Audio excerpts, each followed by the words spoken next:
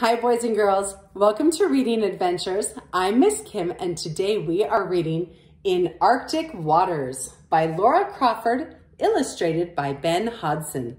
This is a fun story.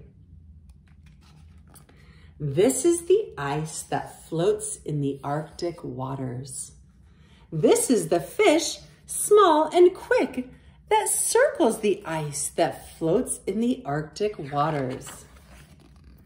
This is the beluga, blubbery and thick, that chases the fish, small and quick, that circles the ice that floats in the Arctic waters.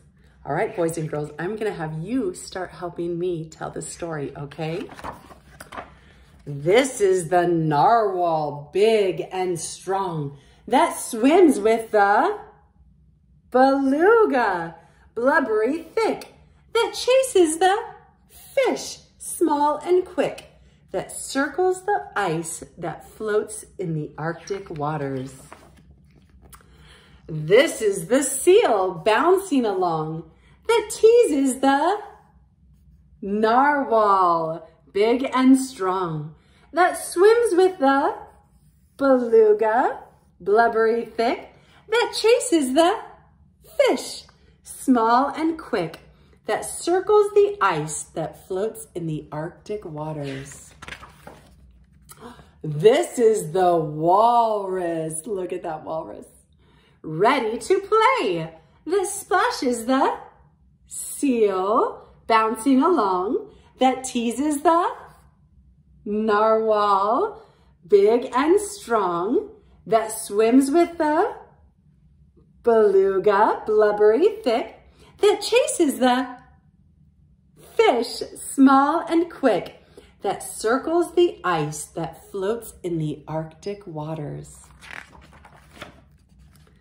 This is the polar bear, furry white, that swats at the walrus ready to fight, that splashes the seal bouncing along, that teases the narwhal big and strong, that swims with the beluga, blubbery thick, that chases the fish, small and quick, that circles the ice that floats in the Arctic waters.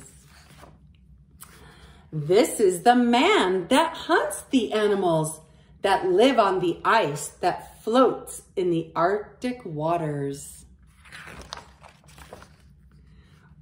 Crunch, creak, crack. Oh, the ice looks like it's breaking. The polar bear stopped. The walrus hopped. The seal scurried. The narwhal hurried. The beluga splashed. The fish dashed toward a new piece of ice that floats in the Arctic waters and he went on to go fishing somewhere else. Very good. All right, boys and girls, thank you for helping me to tell that story. I will see you next time. Goodbye.